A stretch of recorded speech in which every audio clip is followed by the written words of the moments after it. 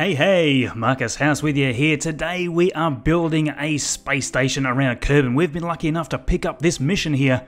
It has the typical components needed there. We need an antenna, a docking port, and to be able to generate power, but we need to support at least 10 Kerbals and also have the mining Convert-O-Tron unit there uh, so that we can convert fuel. To create this station though, we need a modified version of our space plane from the other week, which we have now called the Trident. This is the Trident 2 SS, standing for Space Station. This version of the space plane has not only the three massive cargo bays there on the bottom level, but also two more massive ones there piggybacking on top. Today on this mission, we are taking a well rounded crew one engineer, two scientists, and one pilot and we have our entire vessel here totally loaded with cargo to build our space station, so we're going to put that together here shortly. For now, we are going to launch this massive beast. Now, if you saw the space plane's younger brother from just a few episodes ago, you'll note the difference here. This one still has the 32 Rapier engines, but it also has six Whiplash engines here attached to those top two new cargo bays. That gives us a lot of extra thrust just to get us up fast enough to have those Rapier engines uh, taking full effect basically and being able to punch us out of the atmosphere. Now obviously this footage is sped up a massive amount. In fact, if you try to load this vessel yourself, you'll see that the sheer number of parts in this thing pretty much kills off your frame rate. I think I was getting between, I don't know, maybe 5 frames a second and 10 frames a second through this entire ascent. So, yeah.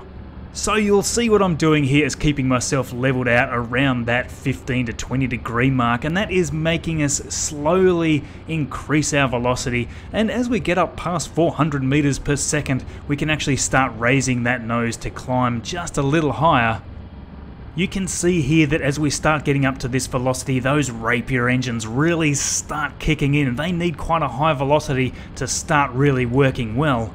Now before we switch these Rapier engines into closed cycle mode here from air breathing mode, we just need to get to around 1400 meters per second, raise that nose, then switch on that closed cycle mode.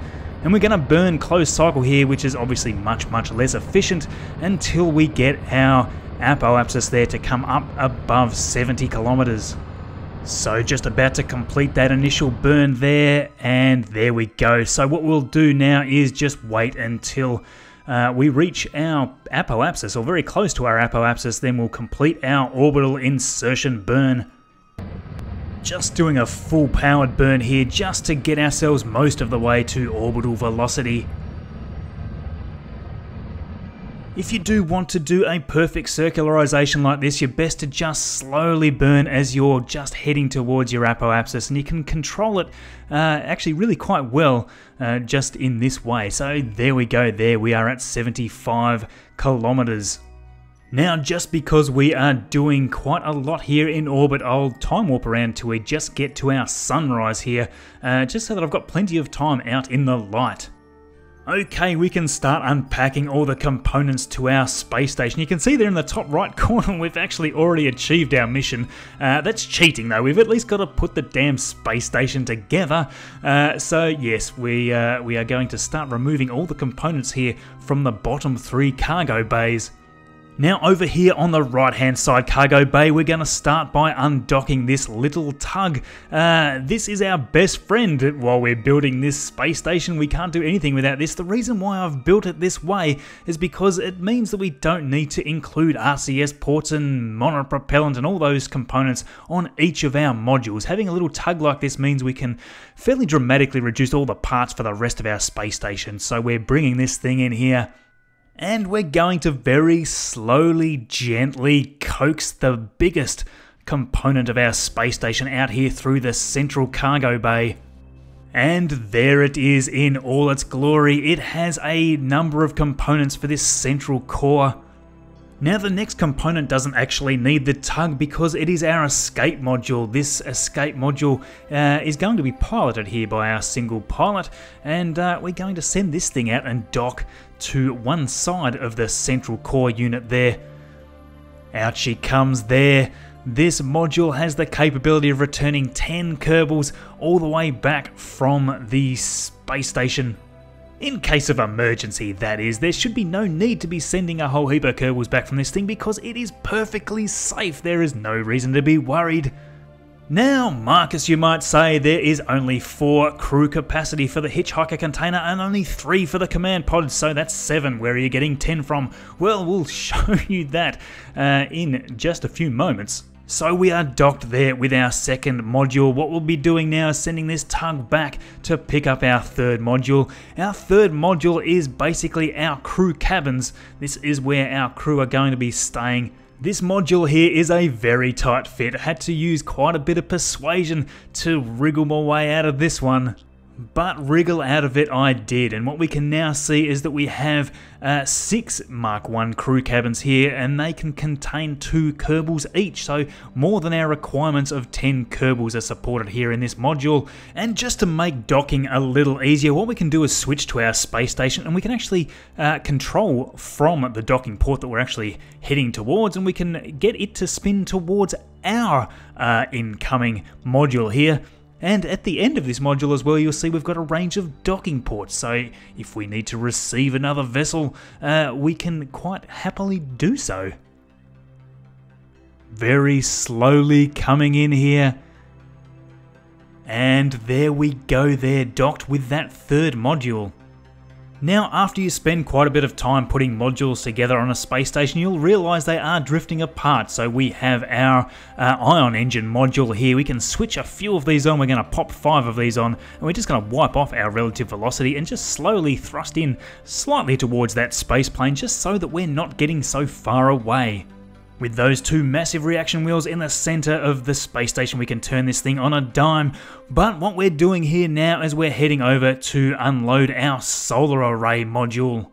There is of course no such thing as survivability in space without a good source of power, so we need this solar array module to keep ourselves well stocked and well charged. Just because we do not have any RCS on this module, we can actually use the RCS on our space plane to get the space plane out of the way. In we come, of course, again with our tug. We are going to come in and grab hold of the end of our solar array module that's got it there.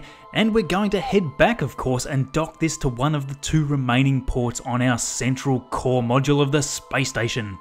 Coming in to dock this now, and you'll see there we've lost our light again. We have spent all that time on the light side of Kerbin. Uh, we'll dock this and we'll time warp around, I think. Had a little trouble here with this docking simply because the tug wasn't uh, wasn't attached to the module perfectly straight, so yeah, lesson learned there. So for visibility purposes, we'll time warp around to the light side of Kerbin again, and we'll burn those ion engines just to make sure we're not drifting too far away from the space plane. Using these massive reaction wheels again, we'll select our final docking port control from that and we will spin it towards the space plane just so that we're already pointing in the correct direction again. So we're sending our tug back now for our very final module. So we'll switch back to our space station while our tug is incoming, uh, close up those top cargo bays and open up the opposite side there on the left. Uh, now this final module is of course our massive communications array. I will point out of course there is absolutely no reason why you would need this many antennas on a single array other than it looking looking kind of cool. So yes, uh, let's just say we are not going to have any issues with our ability to receive a transmission. So yes, just speeding through the footage here of this docking. You're probably getting a little tired of watching docking scenes here now. Uh, we're going to grab the sensitive end of this antenna. Just coming in there and... there we go there. Consider that part grabbed. Using that wonderful docking port alignment indicator mod, we can dock with ease. Bringing that final module there slowly in and there we go there, docked and our space station is now completely built. So as per the mission requirements, we have our ISRU unit, our Convert-O-Tron. Uh, we need our radiators there to dissipate heat while we're converting any ore. We just bought a little bit of test ore here just to convert to show you that this works. We have in this bottom service bay some fuel for our ion engines. This could be refueled at any time, of course. Now on the opposite side of this we have our science module. Now the science module has got a, uh, a full suite of all of the science experiments tucked away here in this service bay. And of course it has a nice scientific cupola module there for observation. Now our return vessel here has got an extra four seats in the bottom service bay. You can actually cram Kerbals into those seats and they will be quite fine. You do need to make sure you're not coming in too far off retrograde though, otherwise some of the heat will actually break through the walls of that service bay and your Kerbals will be burnt alive, so you don't want that to happen. On the opposite side here, as we said before, we have every size docking port for all your docking needs, and of course we have the full suite of the Mark 1 crew cabins there for all of our Kerbals. Seems a little unprofessional to leave our tug there grabbing hold of our communication array, so we'll actually dock this to one of those said ports, and uh, yes, that'll tidy all this up nicely. So we can extend out all of our communication gear here and as well, we can extend out all of the massive solar arrays. Now you'll see there the solar arrays can actually be extended out in two directions. We're just extending out the one here right now. Uh, this will capture the sunlight quite nicely. What we'll do here is save our game so that we can quickly reload from this point on and we'll do a quick test of our return vessel here. We're certainly not going to be too picky with this one. We'll land it down near the Kerbal Space Center, but we're just going to immediately quick load after we land anyway. So uh, let's get this thing going. Uh, and just to test it overly well, we'll actually come in at a very high uh, re-entry angle. So we should see that the heat build-up around this thing isn't going to cause us any problems. Down we come here, punching through that atmosphere. Obviously, again, we are looking at this footage very much sped up. So there we go, re-entry largely complete, and oh, we're getting quite close to those mountains. Uh, we should be right though, we should be landing right in front of them. And coming down, our parachutes are already deployed. Full thrust to lessen the impact, and there we go, there we are down. So there we go there, I would call that test successful. We'll quick load now back to our uh, space station where everything was all attached Everything looking good there. We will switch over to our space plane. We'll close up those cargo bays. And of course, now I've realised that we don't have a pilot on board, nor do I have a control unit, so that's no good. We have a spare space submarine from the other week though, and we also have a very stranded Burberry, so we'll come and pick him up. Burberry has been up here, of course, ever since our speed run to orbit challenge the other week. He has been waiting patiently for rescue and oh my god. uh, yeah, I didn't mean to hit him quite that hard. Sorry about that, Burberry. I really must stop using you as a test dummy. We'll uh, exit you out here, send you over to our vessel, and uh, yes, we'll skip over all this. And uh, yes, obviously, we get Burberry to come and board our space plane. So in you come here, Burberry. It's going to be nice to have you home come in and board that vessel there. There we go. So in preparation for our landing, we will close up our three cargo bays there.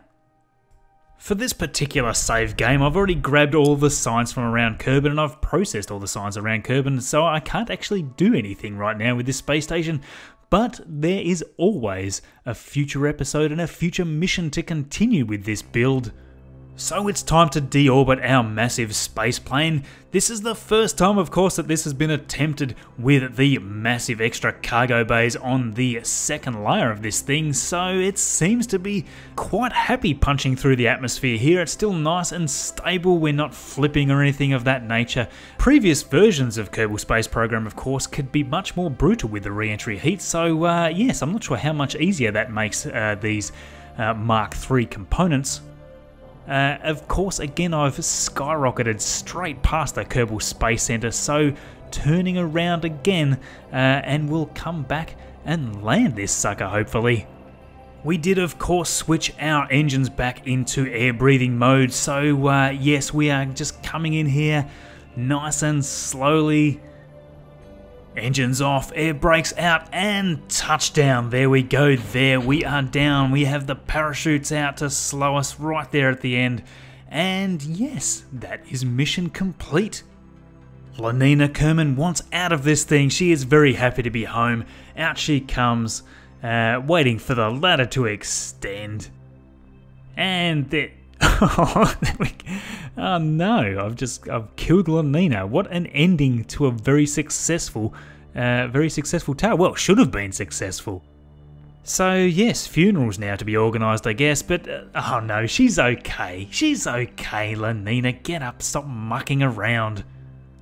Before we go though, we are planting some flags. We haven't done this for a little while. The first three flags we are planting here are for the very clever people out there that have found the hidden Easter egg in the video thumbnails. If you would like to be included in this flag collection, simply be the very first to actually find the hidden message in the thumbnail and tweet me the answer to the message. The next two flags here, this first one being for Eric, are for the winners of the First to Orbit Challenge from last week. Jonas, of course, here uh, getting the fastest time with a slightly more exploity uh, sort of solution there. So thank you everybody for watching and thank you to all my wonderful subscribers, you are awesome. If you haven't subscribed of course, please do subscribe to see more, follow me on Twitter at Marcus House Game and we will see you in the next video. Like any journey though, there is no guarantee that Burberry is coming back. I mean, for starters, there is no fuel to return this thing. So here we go, attempt number 6, the most skin roasting of all attempts. Let's launch this thing. Now I think I've perfected the ascent of this thing. I've had about 15 tries at this now.